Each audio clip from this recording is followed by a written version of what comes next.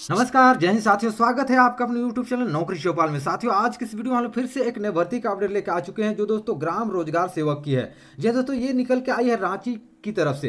तो चलिए हम लोग इस भर्ती के बारे में बात करेंगे। दोस्तों अगर आप पुरुष हैं या फिर महिला हैं इस भर्ती के लिए योग्यता रखते हैं तो आप इस भर्ती के लिए फॉर्म फिलअप कर सकते हैं। बारहवीं पास कैंडिडेट्स भी इस भर्ती के लिए फॉर्म फिलअप कर सकते हैं। सैलरी की बात करें तो दोस्तों यहाँ पर तेईस हज़ार एक सौ चालीस तक आपका सैलरी होने वाली टोटल पोस्ट की बात करें तो दोस्तों रो, ग्राम रोज़गार सेवक के लिए बासठ पोस्ट है लेकिन और सारे पोस्ट है दोस्तों। उस सभी को मिला के लगभग यहाँ पे सौ पोस्ट निकाली गई है। तो चलिए हम लोग आगे बढ़ते हैं और इस भर्ती के बारे में बात करते हैं। यहाँ पर दोस्तों ऑफिशियल नोटिफिकेशन में आप देखें तो यहाँ पर आप सभी को बता देना चाहता हूँ कि जिला ग्रामीण विकास अभिकरण रांची की तरफ़ से ये भर्ती निकाली गई है, जो कचहरी रोड रांची की तरफ़ से है। जी हाँ दोस्तों, चलिए हम लोग आगे बढ़ते हैं और इस भर्ती के लिए कौन कौन से पद के लिए भर्ती निकाली गई है उसके बारे में यहाँ पर हम लोग बात करें तो दोस्तों यहाँ पर प्रखंड कार्यक्रम पदाधिकारी तकनीकी सहायक जो सहायक अभियंता के समकक्ष हो और तकनीकी सहायक कनीय अभियंता के समकक्ष लेखा सहायक कंप्यूटर सहायक और ग्राम रोज़गार सेवा के लिए भर्ती निकल के आ चुकी है। दोस्तों हम लोग यहाँ पर अगर कोटिवार देखें तो यहाँ पर अनारक्षित के लिए यहाँ पर ग्राम रोज़गार सेवक के लिए 26 पोस्ट है और अनुसूचित जनजाति के लिए 22 पोस्ट है। अनुसूचित जाति के लिए दो पोस्ट है और अत्यंत पिछड़ा वर्ग और पिछड़ा वर्ग के लिए तीन तीन पोस्ट है और आ, आ, आर्थिक रूप से कमज़ोर वर्ग के लिए छह पोस्ट यानी कि टोटल बासठ पोस्ट यहाँ पर ग्राम रोज़गार सेवक के लिए है दोस्तों। दोस्तों, आप वीडियो को पॉज करके यहाँ पर देख सकते हैं कि कौन कौन से पोस्ट के लिए भर्ती निकाली गई है। आगे दोस्तों, अगर हम लोग बात करें इस पोस्ट के लिए, इस भर्ती के लिए आप कब से कब तक फॉर्म अप्लाई कर सकते हैं तो दोस्तों, यहाँ पर मैं आप सभी को बता देना चाहता हूँ 21 अक्टूबर 2023 से लेके 3 नवंबर 2023 तक आप इस भर्ती के लिए फॉर्म अप्लाई कर सकते हैं। दोस्तों, यहाँ पर आपको ऑफिशियल वेबसाइट का लिंक दिया गया है, जिसके माध्यम से आप ऑनलाइन आप फॉर्म अप्लाई कर सकते हैं। दोस्तों, शैक्षणिक योग्यता की बात करें तो प्रखंड कार्यक्रम पदाधिकारी के लिए यहाँ पर अनिवार्य योग्यता बताई गई है। सरकारी मान्यता प्राप्त विश्वविद्यालय या संस्थान से किसी भी संकाय एवं विषय में स्नातक प्रतिष्ठा पचपन प्रतिशत अंक के साथ उत्तीर्ण होना चाहिए। यहाँ पर दोस्तों, आप सभी को थोड़ा सा डिटेल्स में बता देना चाहता हूँ। अगर आप स्नातक पास है तो आप प्रखंड कार्यक्रम पदाधिकारी के लिए फॉर्म फिलअप कर सकते हैं। लेकिन दोस्तों, यहाँ पर एक क्राइटेरिया आपको बताया गया है कि आपको स्नातक में पचपन प्रतिशत अंक लाना अनिवार्य है। दोस्तों, अगर आपका स्नातक में, यानी कि ग्रेजुएशन में पचपन प्रतिशत अंक है तो आप प्रखंड कार्यक्रम पदाधिकारी के लिए फॉर्म फिलअप कर सकते हैं। वहीं दोस्तों, यहाँ पर बताया गया है कि सामान्य स्नातक तथा वैसे स्नातक प्रतिष्ठा उत्तीर्ण, जिनका प्राप्तांक प्रतिशत, पचपन प्रतिशत से कम है, परंतु स्नातकोत्तर उत्तीर्ण हो, वे भी आवेदन कर सकते हैं। जी हाँ दोस्तों, अगर आपका स्नातक में, यानी कि ग्रेजुएशन में पचपन प्रतिशत से कम है, और आप स्नातकोत्तर उत्तीर्ण कर चुके हैं तो आप इस भर्ती में भाग ले सकते हैं। इस भर्ती के लिए एलिजिबल है। आप प्रखंड कार्यक्रम पदाधिकारी के लिए फॉर्म फिलअप कर सकते हैं। वहीं दोस्तों, यहाँ पर अतिरिक्त योग्यता भी बताई गई है कि सरकारी मान्यता प्राप्त संस्थान से M B A P G D B A इस प्रकार से दोस्तों, अगर आपका योग्यता है तो आप इस पोस्ट के लिए भर्ती में फॉर्म फिलअप कर सकते हैं। वहीं दोस्तों, अगर हम लोग तकनीकी सहायक की बात करें, सहायक अभियंता के समकक्ष वाले पद के लिए तो यहाँ पर सरकारी मान्यता प्राप्त संस्थान से सिविल संकाय में बीई या बीटेक अनिवार्य योग्यता होनी चाहिए। अगर आप बीई या बीटेक किए हैं तो आप इस पद के लिए फॉर्म फिलअप कर सकते हैं, तकनीकी सहायक के लिए। ठीक है ना? और अगला पद दोस्तों, तकनीकी सहायक कनीय अभियंता के समकक्ष में आपको यहाँ पर योग्यता मांगी गई। सरकारी मान्यता प्राप्त संस्थान से सिविल संकाय में डिप्लोमा होना अनिवार्य है, ठीक है ना? अगर आप डिप्लोमा कंप्लीट किए हैं सरकारी मान्यता प्राप्त संस्थान से तो आप तकनीकी सहायक के लिए भर सकते हैं। लेकिन दोस्तों, यहाँ पर अगला पोस्ट की बात करें, लेखा सहायक के लिए तो अगर आप सरकारी मान्यता प्राप्त विश्वविद्यालय या संस्थान से बीकॉम, ऑनर्स या बीकॉम सामान्य न्यूनतम पचपन प्रतिशत अंकों के साथ उत्तीर्ण है तो आप लेखा सहायक के लिए फॉर्म फिलअप कर सकते हैं।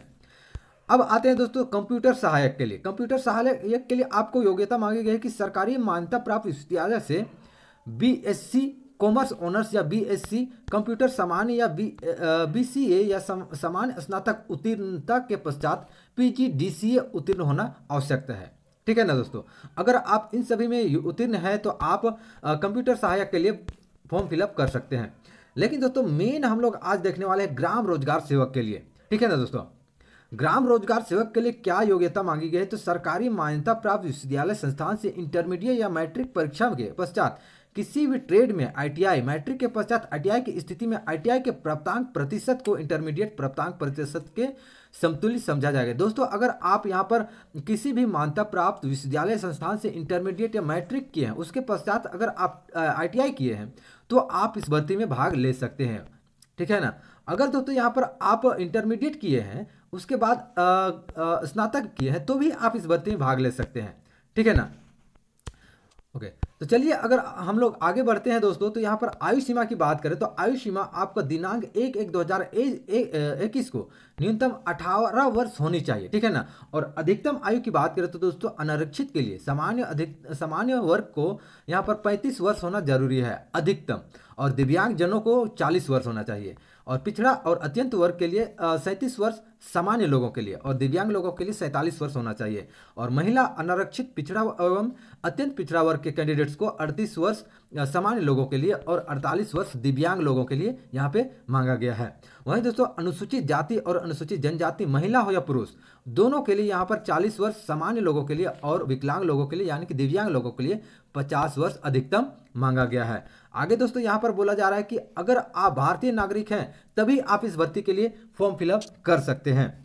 और यहाँ पर दोस्तों, आरक्षण की बात करें तो अनुसूचित जाति और अनुसूचित जाति एवं अनुसूचित जनजाति एवं पिछड़े वर्गों के अभ्यर्थियों के लिए यहाँ पर आरक्षण की भी सुविधा दी गई है। ठीक है ना? आगे बढ़ते हैं दोस्तों, यहाँ पर मेन पॉइंट में आते हैं कि आपकी सैलरी क्या रहने वाली है। सैलरी क्या होने वाली तो दोस्तों, यहाँ पर प्रखंड कार्यक्रम पदाधिकारी की बात करें तो यहाँ पर तेईस हज़ार एक सौ चालीस रुपये प्रति माह की सैलरी होने वाली। वहीं दोस्तों, तकनीकी सहायक के लिए बाईस हज़ार रुपये आपकी सैलरी होने वाली। सहायक अभियंता के समक्ष वाले तकनीकी सहायक को और दोस्तों, तकनीकी सहायक जो कनीय अभियंता के समक्ष होते हैं, उसको उन्नीस हज़ार रुपये सैलरी होने वाली है। लेखा सहायक को चौदह हज़ार तीन सौ होने वाली है और कंप्यूटर सहायक को चौदह हज़ार तीन सौ मिलने वाली है। और दोस्तों, ग्राम रोज़गार सेवक को यहाँ पर ग्यारह हज़ार तक आपको सैलरी मिलने वाली है। धीरे धीरे दोस्तों, ये बढ़ती है, ठीक है ना? तो आपका मिनिमम सैलरी ग्यारह हज़ार रुपये होने वाली है।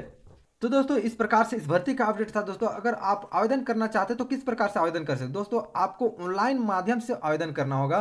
साथ ही साथ फ़ोटो हस्ताक्षर भी अपलोड करना होगा। और कब से कब तक कर सकते हैं, आपको जैसे मैंने बता दिया, इक्कीस दस दो से तीन ग्यारह दो हज़ार तेईस तक आप इस भर्ती के लिए फॉर्म फिलअप कर सकते हैं। यहाँ पर दोस्तों, आपको वेबसाइट भी दिया गया है। आप इस वेबसाइट में विज़िट करके ऑनलाइन माध्यम से आप फॉर्म अप्लाई कर सकते हैं। अगर दोस्तों, ऑनलाइन किस प्रकार से करना है, उसका भी एक डिटेल्स वीडियो पाना चाहते हैं तो आप कमेंट बॉक्स में कमेंट करके बताइए। मैं उसका भी एक डिटेल्स वीडियो बना के डाल दूँगा। आने वाले वीडियो में दोस्तों, मैं उसी के बारे में बताऊँगा। तो आप मेरे चैनल को सब्सक्राइब करके बेलाइकन ज़रूर दबा दीजिएगा, ताकि मैं जब भी वीडियो अपलोड करूँगा, आपके पास वीडियो का नोटिफिकेशन पहुँच जाया करेगा। तो दोस्तों, इस प्रकार से आज के वीडियो का अपडेट था। दोस्तों, अगर आपको इस वीडियो से कुछ जानकारी मिली हो तो वीडियो को ज़रूर से एक लाइक कीजिएगा मेरी मोटिवेशन के लिए। और आगे ऐसे ही नए नए भर्ती का अपडेट पाने के लिए, दोस्तों, चैनल को सब्सक्राइब करके बेलाइकन ज़रूर दबा दीजिएगा। चलिए, आगे आने वाले वीडियो में फिर से एक नए भर्ती के साथ मिलेंगे। तब तक के लिए अपना ख्याल रखिएगा। जय हिंद बंदे मातरम।